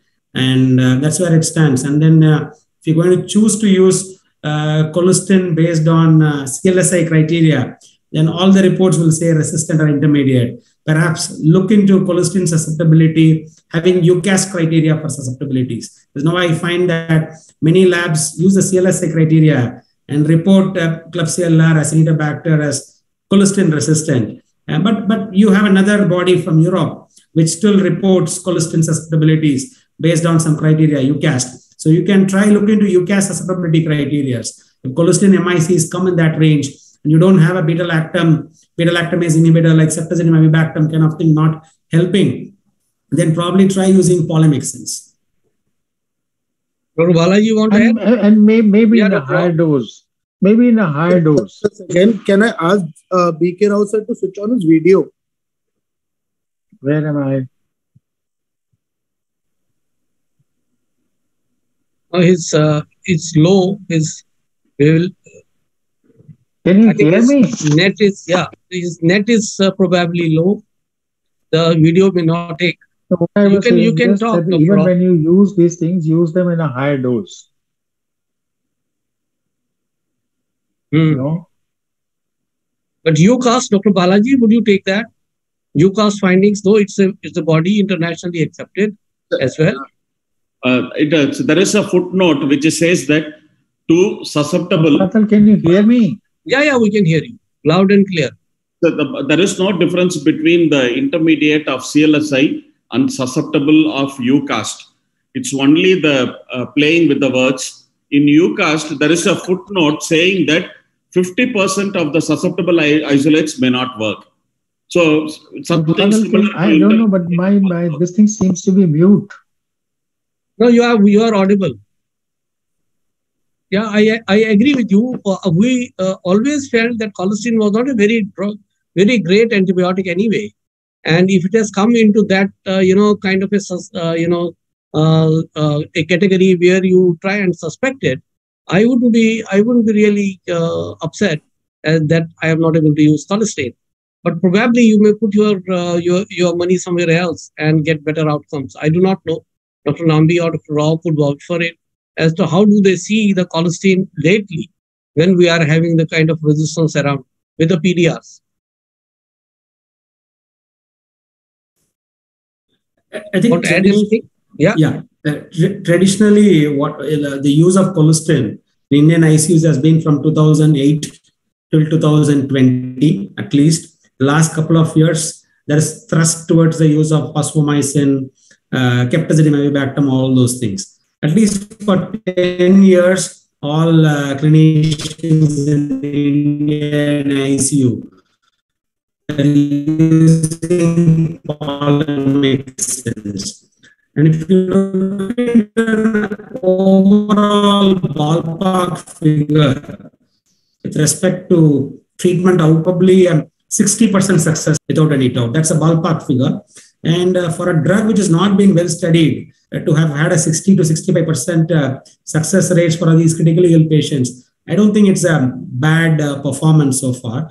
But definitely, I agree with you. The newer beta lactam, beta lactamase inhibitors are much more safer options to use with possibly better outcomes because they're much more safer to give.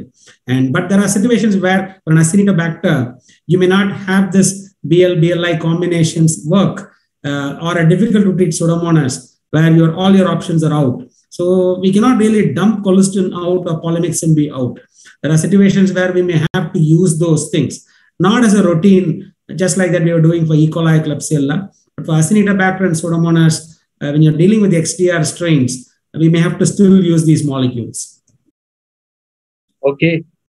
Another area which uh, is very often asked, uh, Dr. Rao, is current antibiotic cover or empiric treatment of sepsis. You know, this is a, uh, you know, very often uh, used language by most of our colleagues that they want to give a cover. And uh, when the patient is in sepsis, as an antibiotic cover, which is an empirical treatment of sepsis.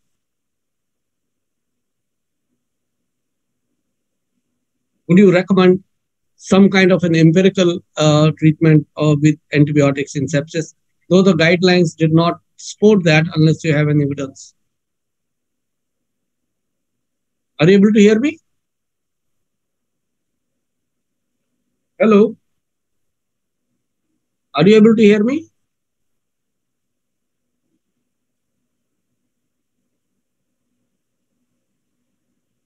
Uh, Dr. Wattal, I think Dr. Rao is not able to hear. Uh, I, I Are you able to hear me? Are you able to hear me? Dr. Nambi? Yeah, yeah, I'm able to hear you well. So, okay. Okay. Is there anything that you need to add in these cases where empirical treatment in sepsis? Does it include uh, an antibiotic at uh, right in the beginning? Is it uh, justified right away? I think uh, the, that is why if you, if you look at the guidelines, they would always Yeah. say antibiotics. They never mention Yes. about the choice.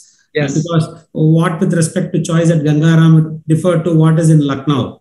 So Lucknow would differ from Kanpur. So that's a problem. And uh, that is where uh, microbiology labs and local antibiograms, the quality of the microbiology labs and the quality of the antibiograms, that is that would determine everything.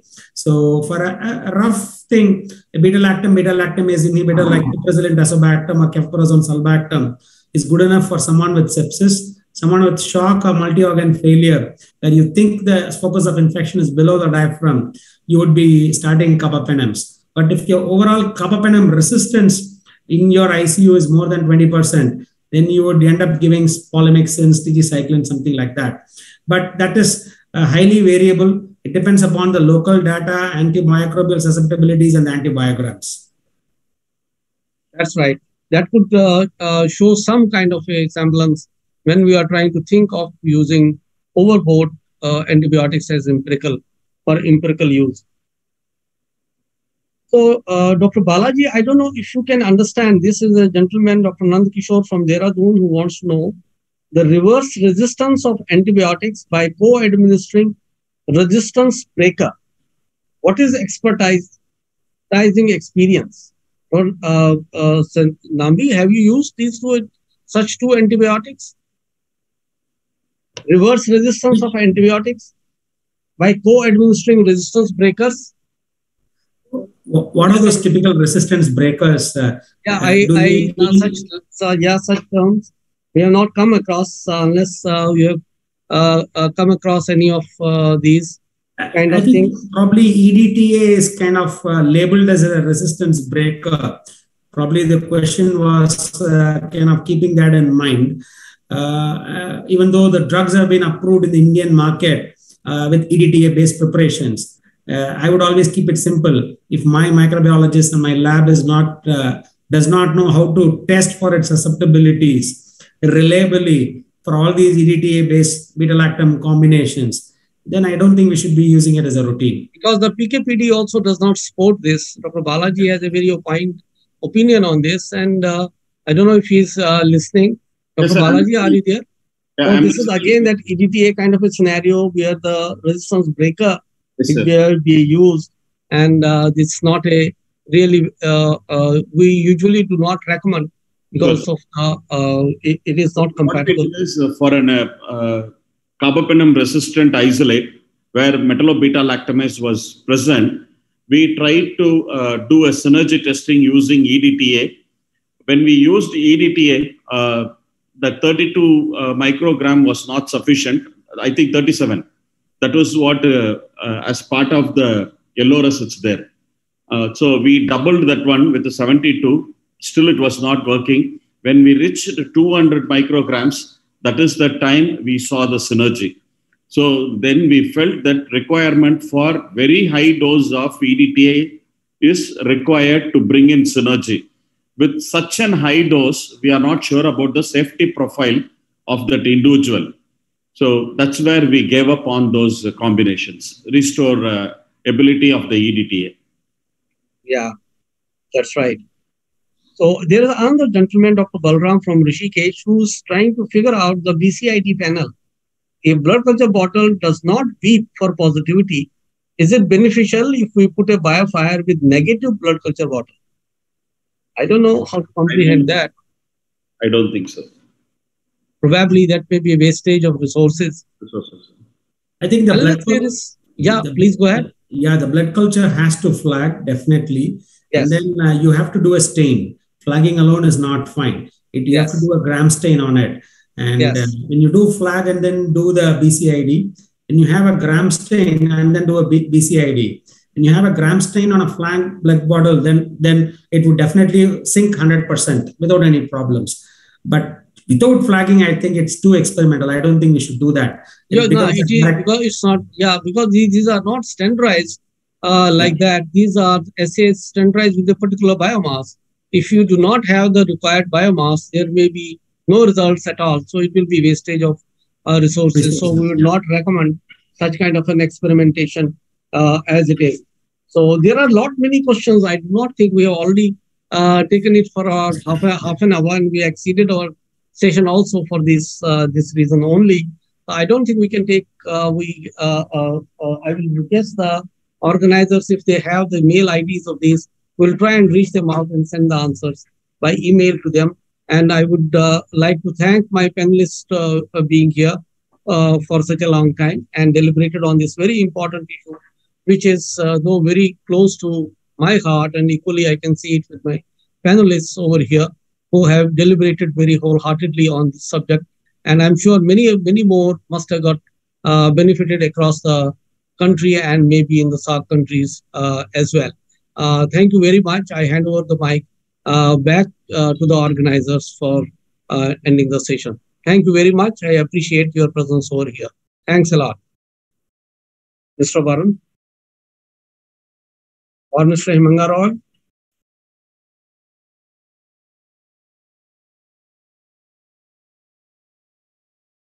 Mr. Roy, are you there? Yes, sir. Thank you. And uh, you can sign off. Thank you very much. Grateful. Thank you, sir. Thank you. Thanks. Thanks for the support.